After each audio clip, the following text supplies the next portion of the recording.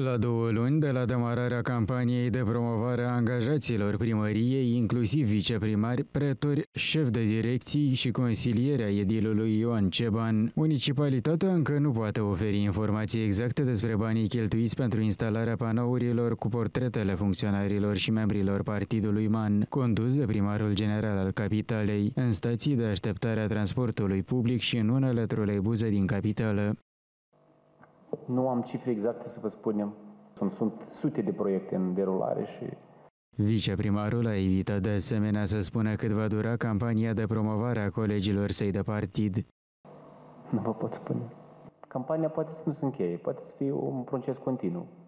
Autoritățile locale susțin că această inițiativă are drept scop informarea locuitorilor capitalei despre modalitățile de înregistrare în audiențe și de a facilita contactul acestora cu persoanele responsabile de diverse domenii. Iar pentru mai multe detalii îi invită pe cetățeni să acceseze portalul transparența.chișinău.md sau scana codul QR de pe materialele informaționale elaborate și publicate, fără a oferi detalii în plus și a specifica câți bani din bugetul local au fost cheltuiți pentru realizarea acestei campanii de informare.